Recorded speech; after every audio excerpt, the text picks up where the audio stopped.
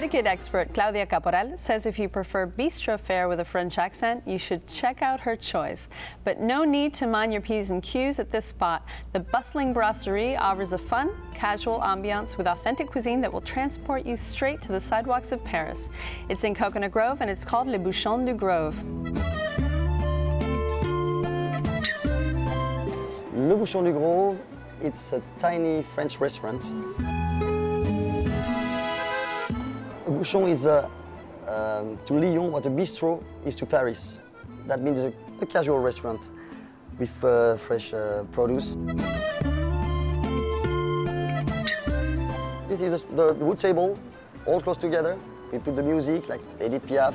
We don't put like classic music, like to make it more even Frenchy. Like when, uh, when someone comes in in the restaurant, the point is like, like they have to feel like in France, exactly the same way it was in France. That's the point. The waiters, most of my waiters are, are French, same as my chef. French cuisine is uh, as great as you say. It's because of the produce and the area and the weather. We are lucky for that. One of the specialties of the Bouchon is the, the chicken fricassee with uh, morel mushroom risotto. We also have the sea bass with another risotto. The Banon, the Provençal Banon, it's a cheese from, uh, from Banon in south of France. When you, when you close the restaurant and you feel like, oh, all, all, the people came with a nice smile on their face and they leave with the same nice uh, smile, perfect, I mean, uh, you made it. When, you, when you're in this business, if you're not passionate about, uh, about cuisine, about what you do, uh, it never works, it never works. It never works or it never lasts, definitely, definitely. You have to feel excited every day. Every morning when you put your apron on, you have to feel like, okay, otherwise, mm -mm. What is your first impression when you walk into Le Bouchon? It's a happy place. It's a definitely like casual, very relaxed uh, dining. Uh, I say that if you haven't been to France, for instance, this is a good place to go check out because it's a traditional French bistro, usually with open doors, like the seating, you know, goes to out in the in the street. And but they don't really they take the, the food very seriously. So besides being like a colorful, cheerful place with like crazy garçons, you have good food. And it also has, I mean, it's just loaded with stuff and it's kind of yeah. crazy and a loud lot of like French memorabilia. Mm -hmm. Like you Mm-hmm. really, it's like an authentic piece of, of France in the in Miami. Definitely really Parisian, like no? Yeah, Yeah. the Lyonnaise. Yeah, Actually, a little yeah. bit. You're right. Yeah, yeah, You're yeah. right. It is more south. Well, Julie? I, I disagree with uh, that as being authentic French. I thought it was kind of the fake French. I mean, you're just inundated with this overload of metal signs and every single possible surface, uh, part of the wall, everything is just covered. I mean, it's just sort of over sensory kill. That's the charm Um, of the place. That's what gives it some character. Well, I didn't think it had character. I, I came in and I was just like, oh my God, this is just too much. I, I totally disagree because, especially because of the food. You know, you see so many places in the in uh, Americanized uh, Italian, American, Latin fusion. This is like the when you see the menu, when you eat there, it's like the typical like French Lyonnaise food. It doesn't, you know, it doesn't have any any combinations or like distractions into the American. It's a nice departure from the typical Miami dining scene. You really do feel like you're in another place. And that's one of the, another thing that I like about this place is like you're in the middle of a coconut grove. It's a place that, you know, how many times you, you get a chance to walk, just like stroll down the streets and like see people walking. Now you started with escargot. Yeah, I always go for the moule frites, but this time I ordered the escargots, which are also another of my, my favorite uh, dishes, and it was perfect. And uh, then I had a sea bass.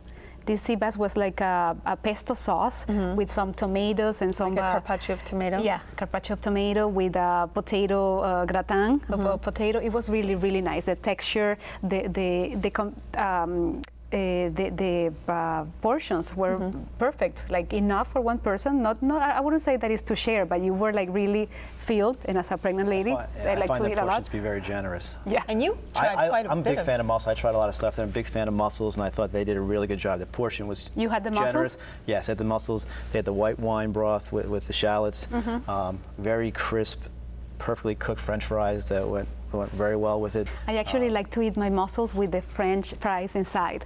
Like I take away all the there? all the shells and I just put the. So you're not a fries. mayonnaise dipper for your fries. No, no. That's I, my actually, thing. I saw someone being served that and actually wished I had ordered that, the moules and frites. Um, the mussels with the thin That's a French big fries. seller there, It yeah. came out in a big um, Creuset type pot, Yes. uh, cast iron pot, And it covered. was over, and it looked very good. And at, we were on our way out, and I thought, oh well, I, I guess had I ordered that, I might have enjoyed my What did you experience. order? That's my we favorite ordered the lamb. Um, although the chops, the meat themselves was good, Uh-huh. and it would have been wonderful had it been seasoned. So everything was either not enough seasoned or seasoned too much. Actually, the best thing that we had was the French bread, which was, which was great and crispy, but there were no bread plates and there were no butter knives. Probably not a good You day. know, so Because no, really, for real. I've was- been going to this place very good over the years, and the food never disappoints. It's one of those like you can rely on their on their offering, the menu. It's like consistently good uh, food every time uh, that I've been there. Yeah, I also tried the duck confit, which I thought they did a good job with. The, the skin was very crispy, and, and the, the meat was tender and, and flavorful. Um, Confit being uh, duck cooked in its own fat. Correct. One of my specialties. Did you drink uh, I wine? that did, night? and, and the place is good. They have several different types of French wines by the glass, so there's good options. It makes wine pairing easy. Um, I definitely had a, a muscadet with the mussels, and then moved on to a Burgundy with the duck confit, and, and the wine was great, and they're reasonably priced. You had one of my favorite things. Tell me a little bit about the onion soup. Onion soup was great. It was very hearty, a lot of flavor to it. It was authentic. They did it the right way. Had some Swiss cheese on the top. Um, just they did it very well. It's a great soup. Now you go quite often. You've never had a problem with the language barrier. No, they are.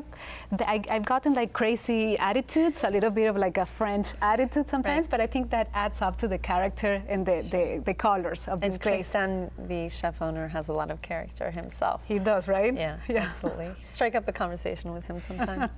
well, this was your choice. Give me a little summary of Le Bouchon. Well, a place that you can really go and relax and uh, a- a full of color, cheerful, uh, friendly atmosphere. A place where you can actually end up like uh, having a date with the person next to your table because they're so close by to each other, and the food is really reliable. Julie? Well, I would disagree. I would say skip this restaurant unless you want uh, a fake French experience. I would recommend. I think it's a nice escape from your typical Miami scene. I think you, you feel like you're in Europe when you're sitting in there. I think if you appreciate French bistros, it's a good spot for you. The service is great, and I recommend the food.